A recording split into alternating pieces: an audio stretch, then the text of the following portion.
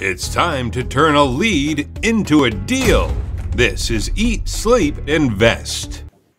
Hey, everybody, welcome back to another episode of Eat, Sleep, and Invest. I'm your host, Bryan, along here with Chad. And today we're going to talk about the difference between Facebook ads, Google pay per click, and SEO for motivated sellers.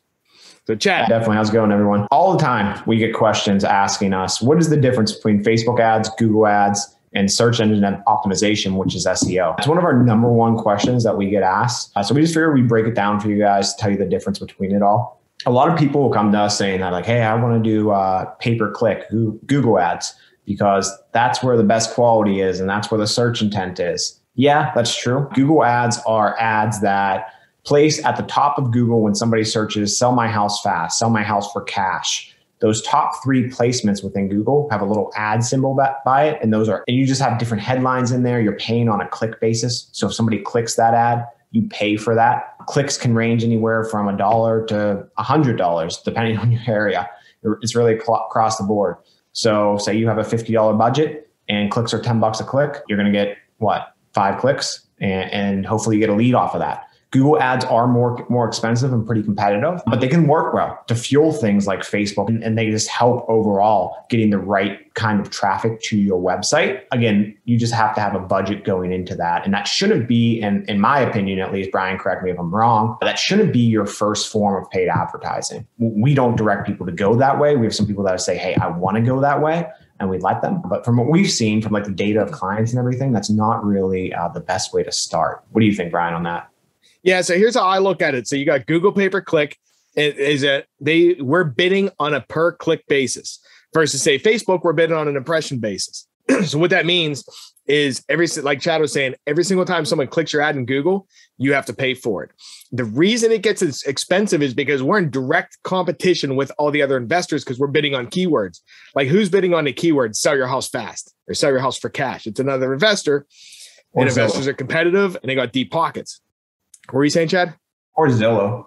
Yeah, or Zillow. So you're looking at there, and then that that's why the cost per click gets so expensive because there's only three or four spots. If you're in Pittsburgh, you're bidding against me and whoever else there is, and it's a bidding game, kind of like pay per lead is. It's like whoever's paying the top dollar gets the click. Uh, there's a couple other things that go into the formula too, like quality score, uh, relevance, things like that. But that's it's really expensive. So for a first point of contact, you might spend fifty dollars for a click. If the person comes to the website and doesn't convert, they're gone. So you need retargeting, things like that set up behind that one. Yeah. And then on the Facebook side of things, well, you said you're bidding on impression. And what that means is that you're bidding to reach X amount of people. You're spending to reach maybe five, 10,000 people a day. And that's how they charge you. They're not charging you every time somebody clicks your ad. So you might spend $50 on Google and get five clicks. You might spend 50 and you might reach 20 people to get those five clicks on Facebook, you could reach 10,000 people, get 100 clicks or 20 clicks. Granted, you're not going to get a crazy amount of more clicks than you would on Google, but you're definitely going to get more for that same spend. And, and granted, on Facebook, you're showing ad images and videos to people who are potentially looking to sell their house fast. So it's more AI and logarithm based, all that, than it is just click based or search intent based. Granted, they will pull data based on how much they owe on their mortgage, what they're how they're behind in debt. Somebody died in their family. I don't know how Facebook has all this data, but they have this data. If you use the ads that speak directly to them, like sell your house fast for cash, sell your house with no repairs needed. Facebook's only going to show that ad to people they feel that is relevant. If they were to show that ad to people that it wasn't relevant to, it would be a terrible consumer experience for that user using Facebook at that time. Say you're showing sell your house fast as is to a guy that lives in a $10 million mansion making $100 million a year. He's like, and that's all he's seeing on his Facebook feed. When he goes to Facebook, he's just gonna be like, why am I even on Facebook? They're showing me so much stuff that is irrelevant to me. So Facebook's logarithm will play in your favor if your ads are positioned to show to people that they pertain to and people that they think are going to click on these ads. So we're big component, we're, we're big fans of starting on Facebook, sending traffic from Facebook to your website to start just because you reach so many more people for your money. Yeah, and you know what too, speaking on AI, for anyone who doesn't know this, Chad's talking about like artificial intelligence. In some of the ways that, if you know anything about websites, what you have, like Google has Google Analytics, and then they also have a tag manager code for Google pay per click. What that is, it's a code that most people put on their website so that they can track their own traffic. So, like, I could see how many organic people came to my site, how many Facebook people came. Same with Facebook. Facebook has something called a Facebook Pixel. A lot of people put that on their website as well.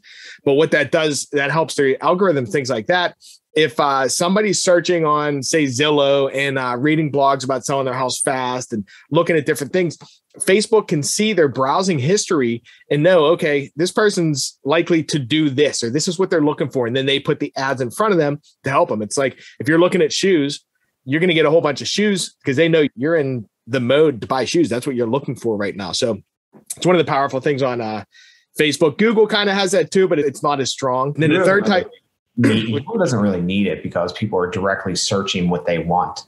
It's not like they need to figure out what you're searching. Google, most people go there and search exactly what they want. Yeah, because they're typing it right into the search engine. And then the third thing is on Google, you got SEO. So that's another play you can make too. And SEO has a really high return on investment. Facebook and Google pay per click, you're getting results fairly immediately. Like you're paying them to push your ads out. So you get traffic. Like you, you press the button, you go live, you're getting traffic within days. SEO, on the other hand, is in the free section of Google what you're doing is optimizing your website to rank well in the free section to get free traffic. So basically, what the search engine's purpose is whenever someone types something into Google, they ask a question or looking for a query, Google wants the number one. They rank the website they think is most relevant to your question and going to give you the answer is number one. So what you can do is you can change your website and optimize it to be relevant for what Google deems important so when someone searches sell your house fast in Pittsburgh, your website would pop up as number one and you get that traffic for free. It's a slow road. Stuff like uh, SEO, you're looking three to six months before you start getting leads versus Facebook and Google pay per click, like three weeks. But once you rank there, you're getting that traffic for free. It's not costing you. You don't have ad spend there. So it is really high return on investment. Yeah. And then, and then on, on Facebook and Google ads, if you turn off ad spend, you're not getting any more leads from that. Whereas SEO is kind of an ongoing process. Like, yeah, we don't recommend you ever like stop SEO optimization, but you could like potentially kill it at some point and still get leads from it down the line and everything, get traffic from it. Whereas Google ads and Facebook ads can just be, they're gone when, when you stop spending. It's completely done with. One of the things, one of the main things just to keep in mind with all of this when you're investing in digital market is to give things time. We have a lot of people that like, oh, I want to give this a month. It's like a month's not enough a month's not going to give this is something that you have to be invested in and understand that like hey i want to i need to spend five ten thousand dollars on this to see if this is a viable channel for me. It's a risk but 90% of the time if you can close deals and you know how to work a lead when it comes in um, you're going to be able to have a high return on investment where you might get a $50,000, $40,000 deal or $100,000 in equity for three, $4,000 spent on it. Just make sure that um, one of these episodes coming up, we'll definitely talk about ha- how to work a lead when it comes in, making sure responding to it quickly and all that. But just to recap again, you got Facebook ads, bidding on impressions, showing it to a lot of people. That's where we recommend that you start. You got Google ads, more expensive, showing it to less people high cost per click. And then you got SEO, which is just a long term game, but will pay itself back where you're just ranking organically in Google. Expect to give that four to six months, where Facebook ads, Google, you can start getting leads in two to three weeks. So, hope that was helpful, guys. Until next time, take it easy and then let us know if uh, you need anything from us. Thank you for listening to Eat, Sleep, Invest and allowing Bryan and Chad to be part of your day. If this episode has inspired you and helped you today, then be sure to share it with someone else you know who will need it. To find out more about us and our mission, head over to motivated leads.com. We want to help identify what you can do to get better deals and grow your real estate investment realm. Don't forget to rate us on iTunes and subscribe for more weekly tips.